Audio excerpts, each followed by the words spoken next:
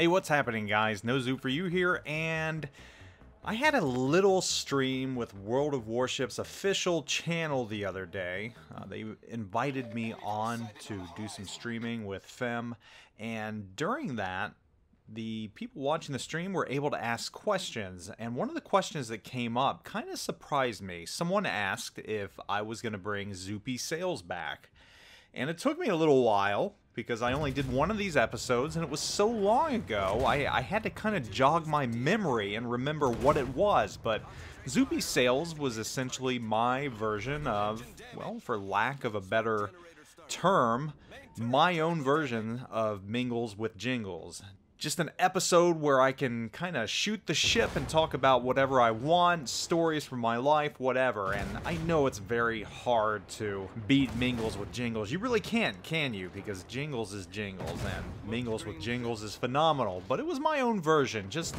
my own type of show where I could talk about whatever I want and it was asked that I bring it back. So that's what I'm going to do. I'm going to bring these back every now and then when I feel like it and just present a story from some point in my life or something random, touch on maybe a question for the community. I don't know. Basically, a free for all.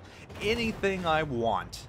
And this is going to be the first episode of the revised Zoupy sails. I'm going to give you a little chapter from Young Zoup, a little escapade that I had with my friends, something exciting, and I had actually recorded this before someone asked for Zoupy Sails to come back, so sit back and here it is.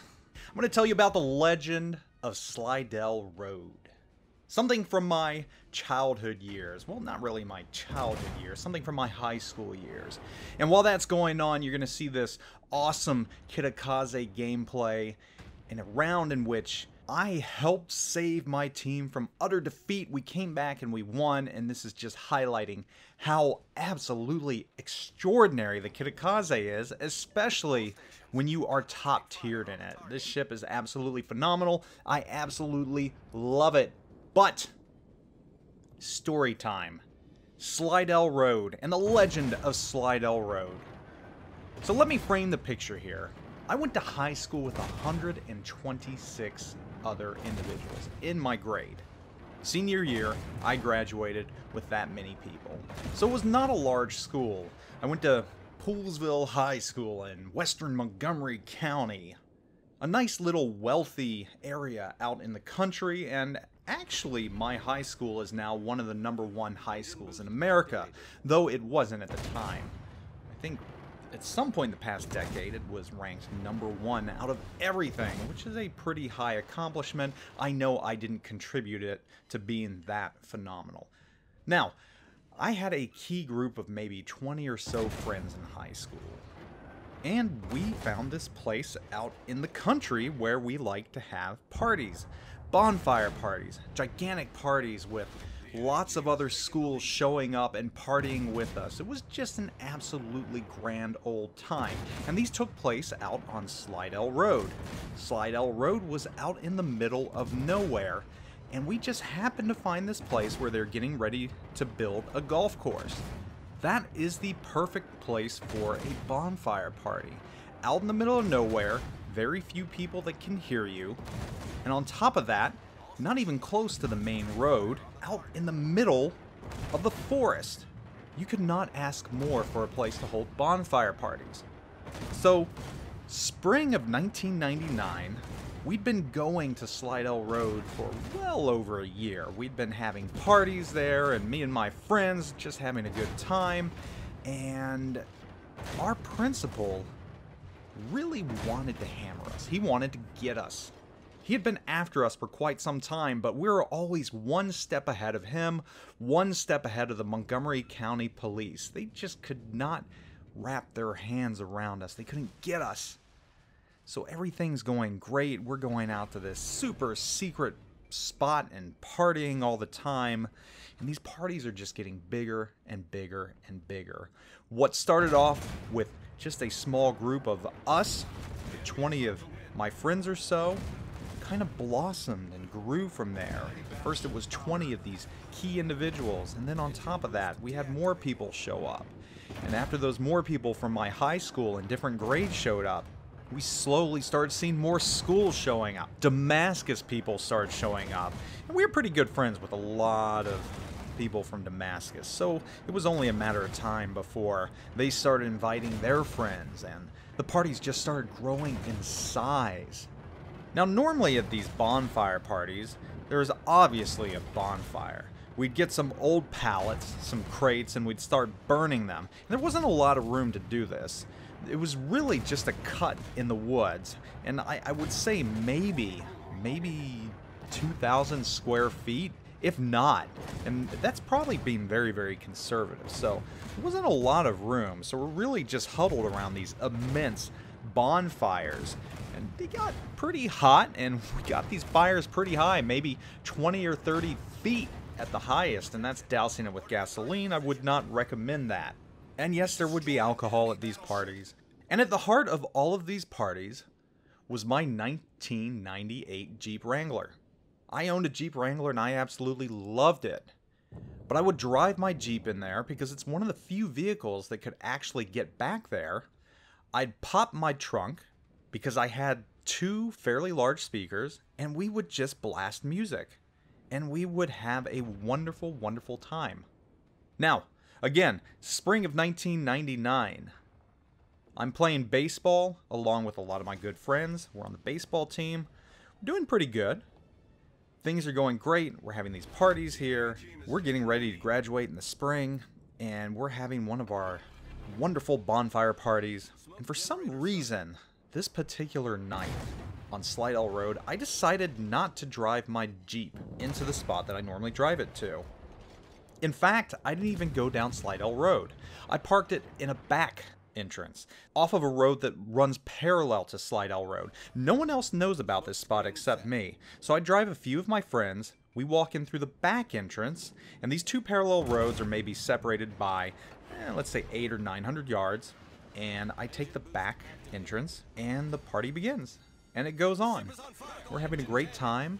Everybody's getting sloppy and having a fun, fun old time. And I don't know what was going on the next day, but for some reason, me and a couple of my other friends decided it was time to leave. Mind you, I did not do anything. I didn't have anything, so you know, I'm I'm completely sober, good to drive and everything else. And I start walking out towards the back exit to my Jeep along with I want to say maybe 3 or 4 of my other friends that I drove. And we start walking and no sooner do we start walking, I hear someone yelling, 5-0, 5-0, 5-0. And before I know it, my group of five has grown into a group of 10 or so. And I'm here thinking, there's no way we're getting busted. There's no way anyone even knows where we're at. So I'm leading this group to safety, out the back exit, get to my Jeep, and obviously there's no way I can fit 12 people in a Jeep. So I do my best to fit, I'd say four or five of my friends. Two of them doubled up. Two of them had their girlfriends with them, so the girlfriends were sitting on the laps of the friends, and we get out of there. I tell the other individuals, hey, you know what, we'll come back for you, we'll do whatever, we'll, we'll find you somehow. So we leave, and we're driving down the road, take a turn, and the road is blocked off by four cop cars. Four of Montgomery County's finest have blocked off the road to Slidell Road. I'm Like, huh, that's not good. So we keep driving. We try and find some things out. Someone had a pager, and their pager lit up with 5 so we knew that there were cops. And we saw the cops, so we're like, oh crap, it really happened. I think we really got busted. Now, one of my friends is freaking out because his car's parked there, and he had already been in trouble for earlier that year during homecoming, wrecking his dad's 300ZX going 114 miles per hour. He survived, the vehicle did what it was supposed to and completely disintegrated around him, keeping the cockpit intact, but he learned a valuable lesson, and he and cars were not really simpatico. So if he had gotten caught drunk at a bonfire party, he would have been in deep trouble. Now, he's a lacrosse player, not a baseball player like me and the majority of my other friends. So he asked for a favor. He asked if I could go get his vehicle, to which I agreed, because, again, I was sober. So I park at a reasonably close area to Slidell Road, and I start walking. And mind you, it's probably about a half a mile, maybe even close to a mile walk from where I was parked to the actual place where the bonfire was held. Now, across from the entrance to where we held the bonfire, there's a giant field where everybody would park their cars, and that's where my friend's car was. So I set off walking, and I come up to this police roadblock, and they're just kind of looking at me like, what the hell is this kid doing? I say, hey, look, you know, I'm just here to pick up my vehicle. I'm completely sober. I need to take a breathalyzer so I can be on my way. And they're like, all right, walk down that way. So I start walking. And I'm walking and I'm walking. And as I'm walking, I'm seeing a lot more cop cars and a lot more cops. I mean, Montgomery County Police Department called out the works for this bonfire party. There were a ton there. There was a cop that walked by me with a canine yeah, a canine. Seriously, for a bonfire party. But they really wanted us, and they had not been able to catch us, and finally, this was their moment. They had us. So I'm walking along the woods and the road, and it's dark and it's chilly, passing by more cops, and it's always the same thing every single time. What are you doing? Well, I'm here to get my vehicle. Here to take a breathalyzer. All right, keep walking, keep walking. And as I'm walking down, I see the little path that leads back to the bonfire party. Two cop cars are trying to go down it, or had tried to go down it. One of them busted their exhaust. They're trying to beat that thing back in. Wasn't a good idea for them to go down. And there's just cop cars everywhere. There's cops everywhere. I see high schoolers everywhere, some in handcuffs, and it is just crazy. And finally, I get to where I need to take the breathalyzer. I go up to the cop and I'm like, look, I'm here to pick up my vehicle. I, I just need to take a breathalyzer. And they're like, okay, all right. So I take the breathalyzer. They look at it, 0.0, of course. And the cop looks at his buddy and says, uh, should we give it to him? And he's like, no, no, let him go. I'm like, all right, thank you. So I walk out to the field and I go to get my car, or my friend's car. And at first I had trouble finding it because there's still so many cars out there. I'm like, where the hell is this little red Corolla thing? this red 1990s Corolla. And so I finally find it after like five minutes. The two cops are by the parking, and I'm worried that they're going to start staring at me. And I start opening this vehicle, and I'm like, crap, these keys aren't working. What the hell is going on here? I'm trying to open it, and the keys just do not work. And I'm like, why, why can't I open this vehicle? And finally, one of the cops shines his light over, and he's like, what's the matter? Don't recognize your own car?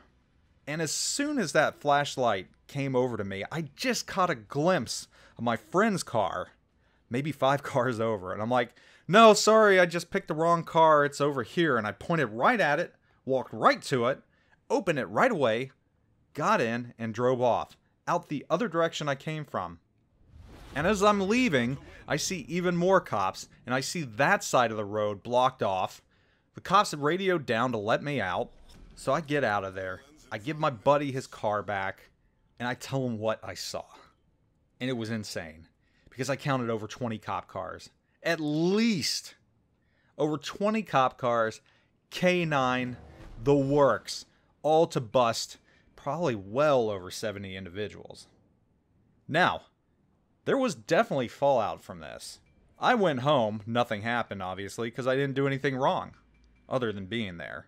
The very next school day, that Monday was quite interesting. That's when the fallout happened. Everyone that was at that party and played on a sports team had to answer for what had happened that night. On the baseball team, right before practice started, we were all put into a formation, probably about five yards away from each one of our teammates. And our head coach just went down the line one by one. He walked up to each player, and it was always the same Were you at the bonfire party? And he followed that up with, Did you drink any alcohol?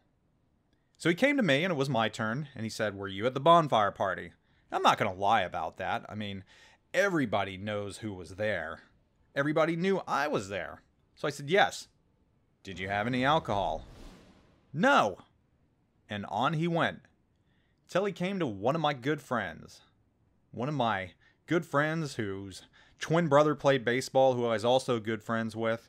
He came to him and asked those questions again. Were you at the alcohol party? Yes. Did you drink any alcohol?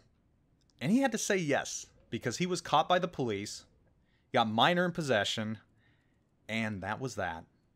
It was a handshake, and sorry, I got to let you off the team, and my friend was sent home packing. Now, a lot of players on other teams, a lot of lacrosse players and women's lacrosse players and everything else, they lied. I know a lot of people that lied and got away with it, and that's fine. You know, self preservation is key in these instances. I probably would have done the same thing. But my poor friend did not have that option because it was known that he got caught and he got busted. Other interesting things happened that night. One of my other really, really good friends had been drinking, and he was driving out of there. And he got caught, pulled over, given a breathalyzer, and even after six beers, blew a 0.0. He lucked out, and that's awesome, but not my friend on the baseball team. So he was sent home, and we're standing there just kind of in awe of the thing, saying, wow, he's really not playing with us anymore. Season started, we're almost halfway done, and he's not going to be playing with us anymore. So we walk up to the coach and say, hey, can we can we go back to uh, his house and kind of console him? He's probably upset right now. And coach is like, yeah, yeah, yeah, that's a good idea. Meanwhile, we're just thinking, hell yeah, we just got out of practice. We go back to the home, which was two houses down from mine. He's in there. He's just watching TV, eating uh, cereal. And he's like, all right, whatever. and that was that. That was that. Yeah, Slidell Road. Police finally got us. Finally. So that's just one of the little stories that me and my friends always talk about. One of the stories that I will carry with me for all time. The time the cops finally got us, the time Montgomery County Police finally got us. And they got us good. I mean, it wasn't just my friend that got busted. A lot of other people got busted too. There's some DUIs handed out. There were some minors in possessions handed out. And you know what? It didn't stop us. We didn't learn our lessons. We just found other places to go. We had plenty of other places. But I don't think for the rest of our senior year we ever, ever had a party that was quite as large as that last party on Slidell Road. I don't think we did, and I don't think any party that I had ever been to after that matched it. Except, you know, college, because I went to some pretty good parties in college that numbered in the, well, yeah, several hundreds at good old Oklahoma State. And for any uh, other individuals out there who went to college and have been to college parties, especially fraternity parties, which I was in a fraternity in college, you know how those get. And I won't say that that party at Slidell Road was the last party I had ever been to that got busted. It wasn't. It wasn't. But it was probably one of the most memorable. So, what are your stories? What are your stories of being busted in high school by the man I'm interested to hear them. Let me know. I hope you enjoyed this little bedtime chat because I enjoyed telling it to you. Anyhow, guys, hope all is well. I'll be back with some warships related material, but I just wanted to change things up a bit. Zoup out.